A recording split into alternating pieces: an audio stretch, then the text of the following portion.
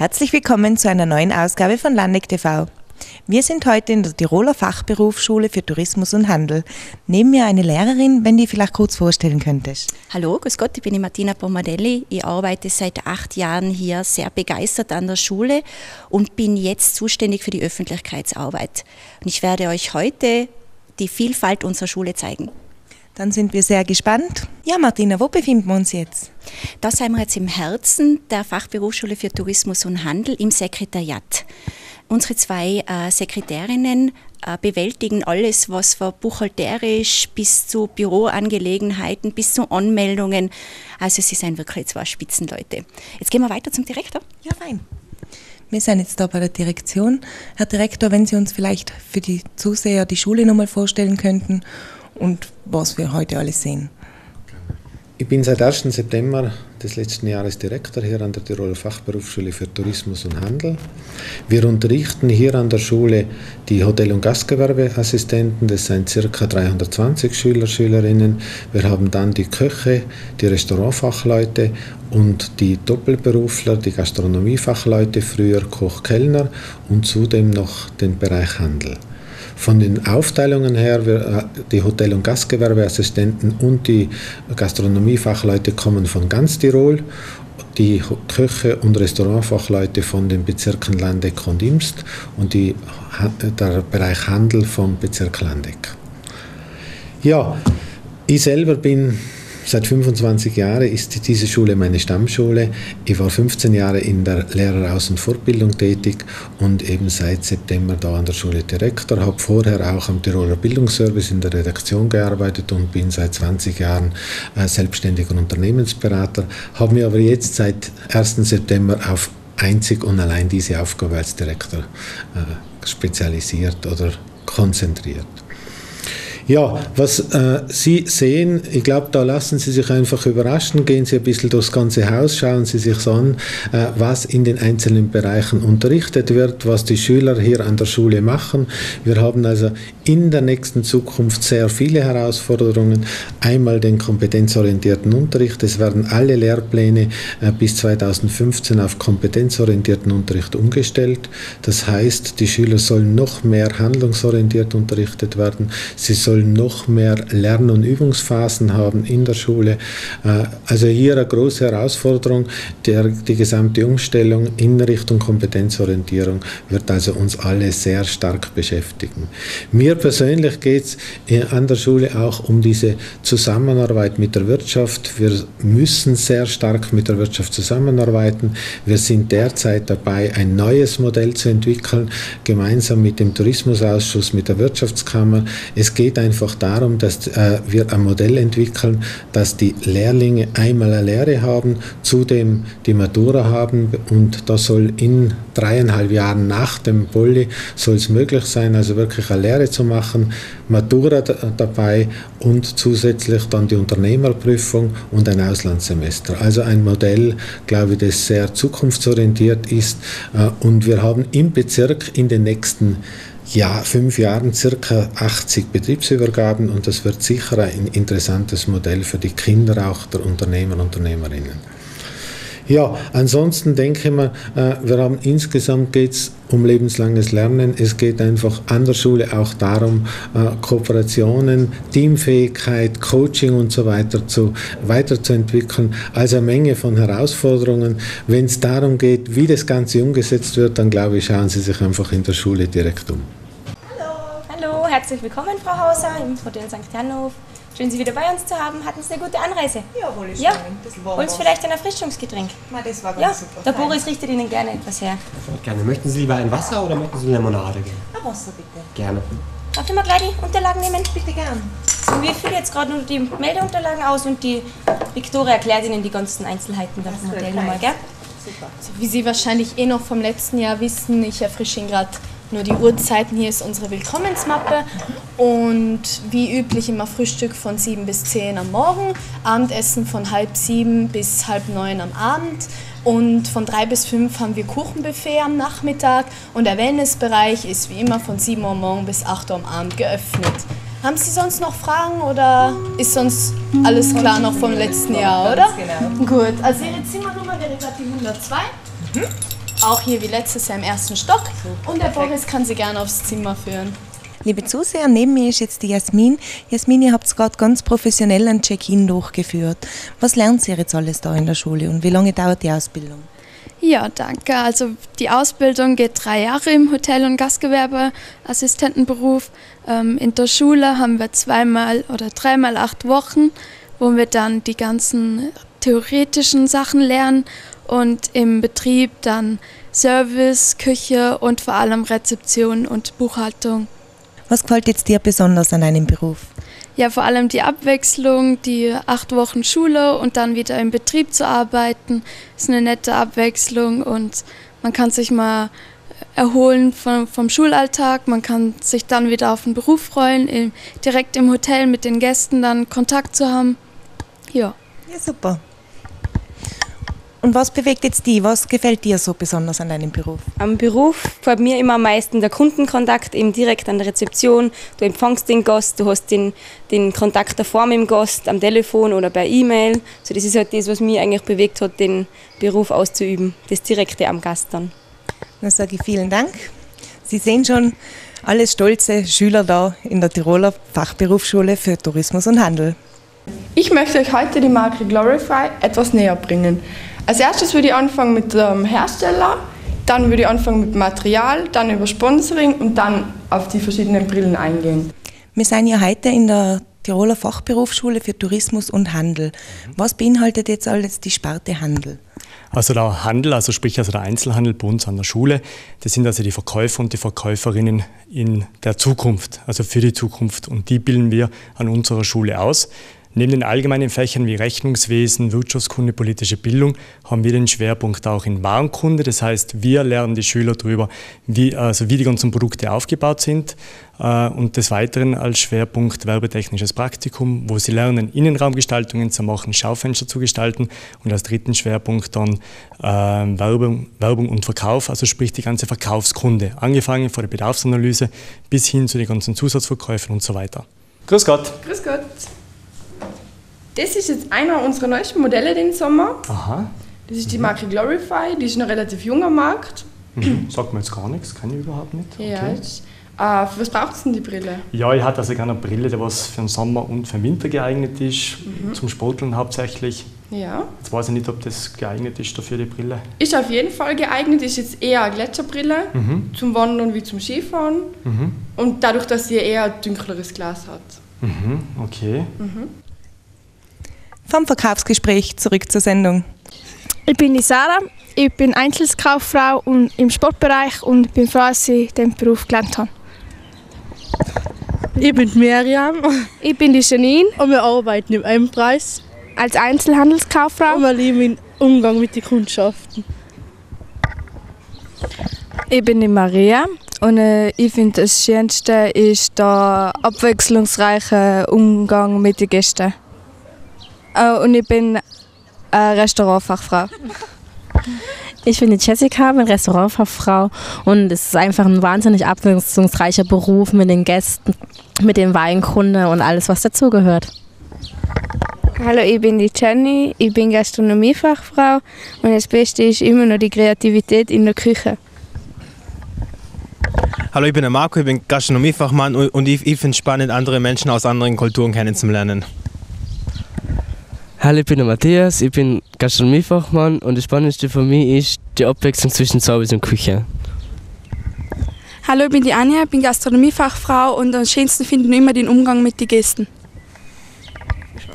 Servus, ich bin der Alex, ich bin Gastronomiefachmann und mir gefällt einfach alles an Küche und Service. Hallo, ich bin der Kevin, bin Gastronomiefachmann.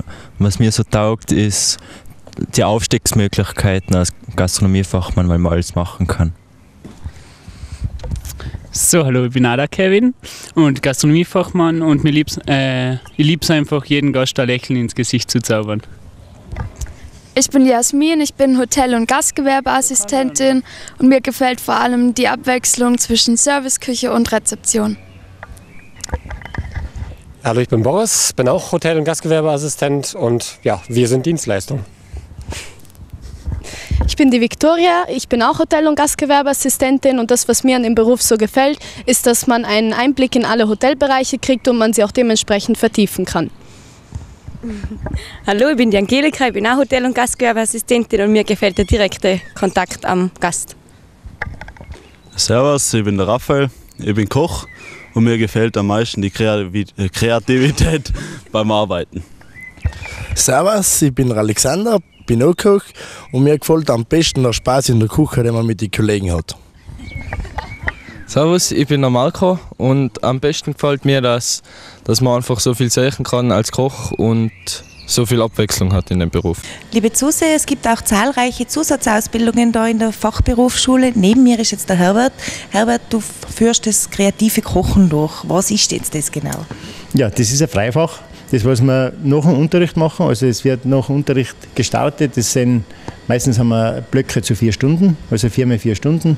Da machen wir einmal Suppen und, Suppen und Garnituren, einmal machen wir Pasteten Terrinen, Galantinen, einmal machen wir äh, Küchenparty. Ja, sie machen das freiwillig, also ist wirklich ein Freifach. Sie müssen sich da anmelden, äh, sind mit Ernst bei der Sache, muss ich sagen. Also sie machen da ganz, ganz, ganz, ganz tolle Sachen. Und da lernen jetzt die Schüler spezielle Sachen zum Kochen, die was sie jetzt im Unterricht so nicht sehen.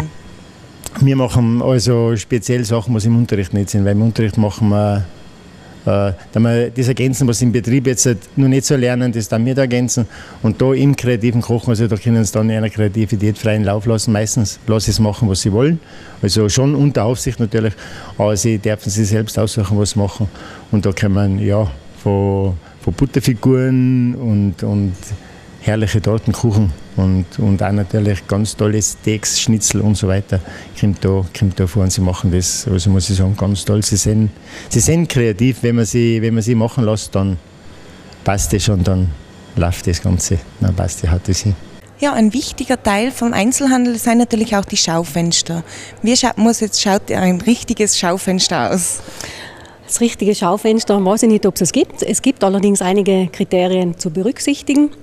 Da dazu gehört, goldener Schnitt ist etwas, das Sie unbedingt wissen müssen. Da dazu gehört Linienführung, wie werden Waren aufgestellt, wie werden Warenträger in erster Linie mal schon aufgestellt.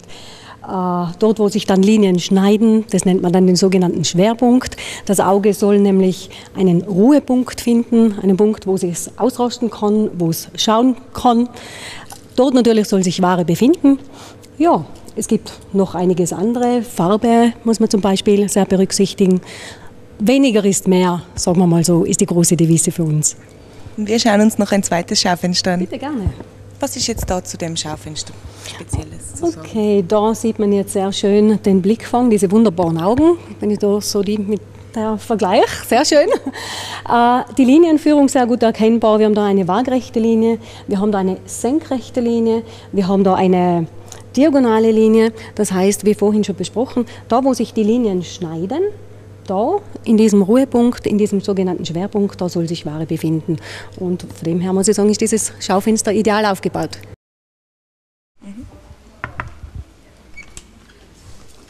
Hallo, Entschuldigung die Störung, dürfen wir ganz kurz so eine theoretische Stunde bei dir anschauen? Genau. So, da sind wir jetzt in der Römisch 3e, das sind unsere HGAs und die Frau Eberharter unterrichtet da WSV. Und das ist jetzt eine richtige theoretische Stunde. Martina, WSV, was kann man sich darunter vorstellen? Was ist das? Ma, ich glaube, da fragen wir die Schüler selber. Also WSV ist Wirtschaftskunde mit Schriftverkehr. Angefangen haben wir mit einem Bewerbungsschreiben am Computer und dann sind wir weitergegangen in die Unternehmensformen und die Rechtsformen, wie so ein Betrieb oder wie so ein Unternehmen eigentlich aufgebaut ist, was für Gesetze es da gibt, was man, wie man sich da eintragen muss. Dann haben wir weitergemacht mit den Rechtsformen. Äh, das haben wir uns vor zwei Wochen aufgeschrieben. Dann haben wir noch Insolvenzverfahren gemacht und letzte Woche waren wir eben bei Marketing und Werbung. Aber zufällig hat sie bei einem Fassel, bei zwei, bei sieben die Florhöfe ganz dicht ausgeprägt. Martina, jetzt drücken wir zwei die Schulbank. In was für einem Fach sind wir denn heute? Wir sind da jetzt in GFK. Das ist ein Teilbereich und das heißt Getränkekunde bei den HGAs. Und wir sollten eigentlich so ein Grundwissen über allen den großen Getränkemarkt wissen. Und der Herr Eisenmann macht es eigentlich sehr fachpraktisch und ich glaube, danach äh, haben Sie wirklich ein Wissen. Ähm, Getränkekunde ist ein ganz ein geringer Teil bei den HGAs, aber ein ganz ein wichtiger Teil. Ja, Martina, ihr bietet ja auch den Schülerinnen die Möglichkeit zum Schlafen da an. Was gibt es jetzt beim Internat zum Sagen? Also Erstens sind wir sehr stolz, dass wir das Internat dabei haben, weil sehr viele Schüler von außen kommen, Osttirol, und die müssen natürlich da schlafen. Und äh, ich glaube auch, es ist einfach lerntechnisch gesehen besser, wenn sie da schlafen, geregelte Zeiten. Ah, Raphael, du kommst mir gerade recht. Der Raphael ist unser Heimsprecher und der kann dann auch natürlich alles sagen. Na, fragen wir ihn Raphael. Raphael, du bist selber im Heim, wie läuft es jetzt ab? Ja, wir haben geregelte Zeiten, also Aufstehzeiten und Lernzeiten, was ich eigentlich ziemlich gut finde, weil wir haben die Möglichkeit, eine Stunde zu lernen, Pflichtstudium. Und da ist die Möglichkeit gegeben, dass wir mit Schülern lernen können, wo das gleiche, den gleichen Stoff durchnehmen. Und vom Internat her, was habt ihr für Freizeitmöglichkeiten? Ja, wir haben da draußen einen Volleyballplatz oder die Sporthalle unten, wo jede Woche Fußball angeboten wird. Im Keller unten sind Tischtennisplatten und Tischkicker gibt es auch noch. Super, zeigst du uns noch ein Zimmer? Ja, mache ich gern. Liebe Zuseher, wir sind jetzt in einem Zimmer von einem Internat. Raphael, sauber habt ihr es da. Was gibt es da die Zimmer zum Sagen? Ja, wir haben halt unsere Zeiten, wo wir aufstehen müssen. Um 6 Uhr müssen wir aufstehen. Dann haben wir Zeit, 50 Minuten zum Zimmerputzen, jeden Tag. Was ich auch ziemlich gut finde, weil in unserem Beruf gehört Hygiene einfach dazu. Mhm. Und wenn es am Morgen nicht sauber ist, dann müssen wir am Mittag nochmal hochgehen, um das erneut zu putzen. Zu wie viel Zeit seid ihr am Zimmer? Ja, wir sind meistens zu dritt. Man kann aber auch zu Zeit sein, wie wir jetzt da gerade sein. Mhm. Ähm, man darf sich eigentlich auch aussuchen mit wem man da die zwei Monate ins Zimmer geht. Mhm. Martina, wie wir das sehen, zwei wunderschön hergerichtete Tische, da steht jetzt ganz viel Wasser. Was hat es denn damit auf sich? Äh, ja, wir bieten an unserer Schule als Zusatzausbildung nicht nur den Jungsommelier an, sondern auch den Wasserexperten. Der Wasserexperte, da müssen Sie auch die Wasserarten kennen, Sie müssen Gesundheit und Wirkung von Wasser kennen, Sie müssen sie verkosten kennen, wie wir es auch beim Jungsommelier gesehen haben. Sie müssen es präsentieren und darum machen wir es, Sie müssen lernen, Zusatzverkäufe machen. Der Wasserexperte wird auch, und das bewundere ja meine Schüler, immer nach den Stunden, was sie offiziell machen müssen, machen sie das als Zusatzausbildung in der ersten Klasse. Also das heißt sehr viel Kraft und äh, sie setzen sie sich da voll ein, wird auch mit einer Prüfung wieder abgeschlossen und danach sind sie Wasserexperten. Martina, und da im Tisch neben uns, was passiert da alles?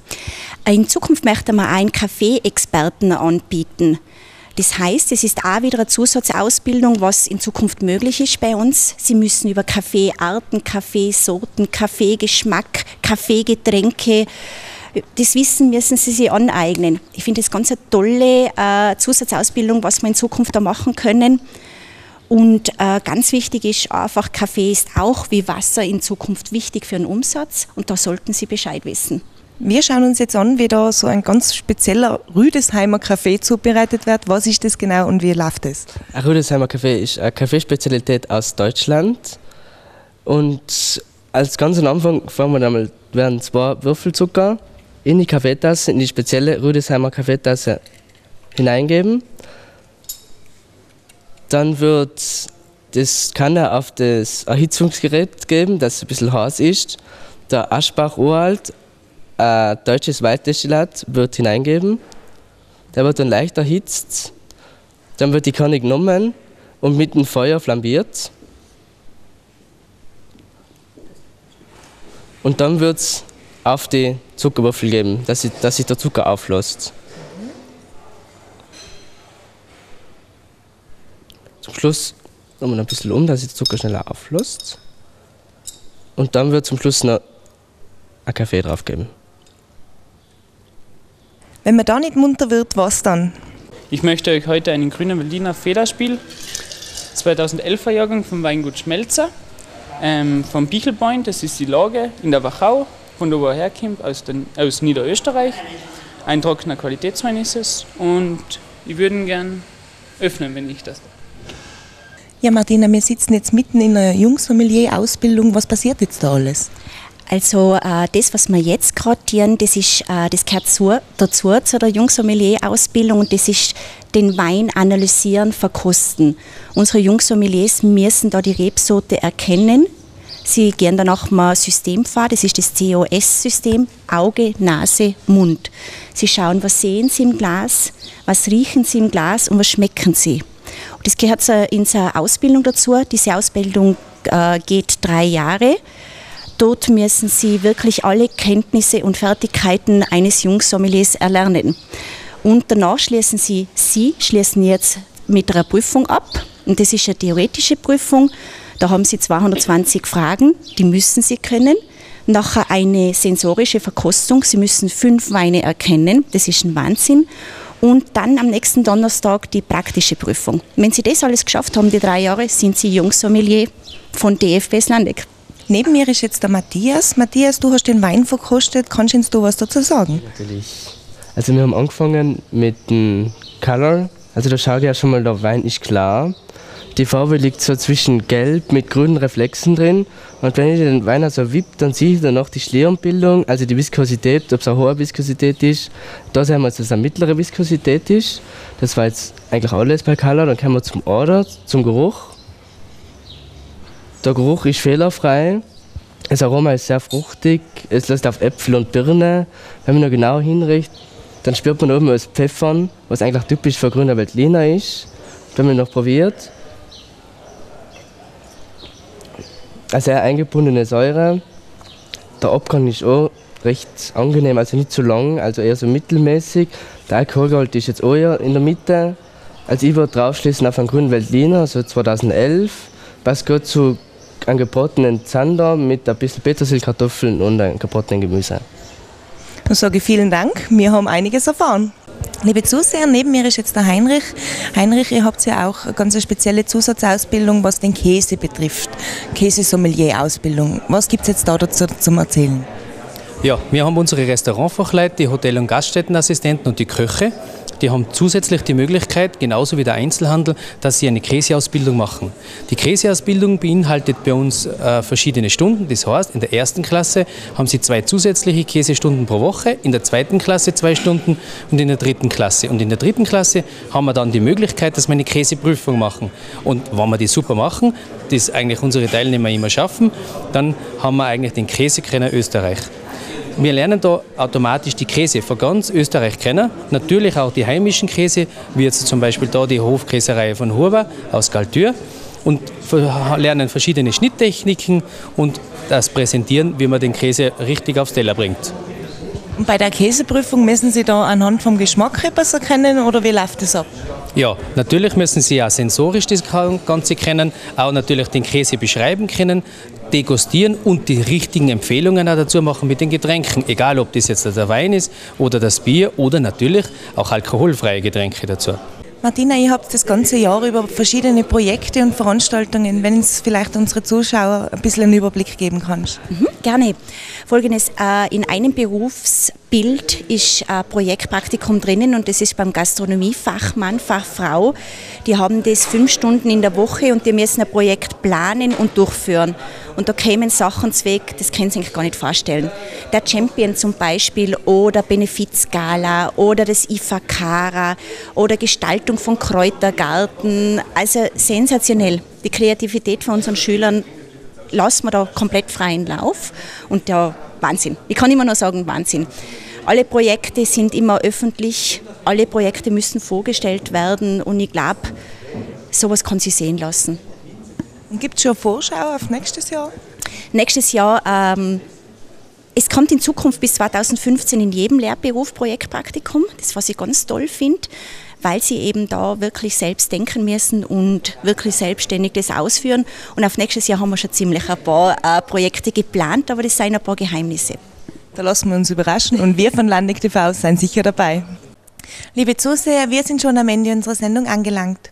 Alle Beiträge von Landig TV sehen Sie auf www.landig.tv. Wir wünschen Ihnen eine schöne Woche. Bis zum nächsten Mal. Machen Sie es gut.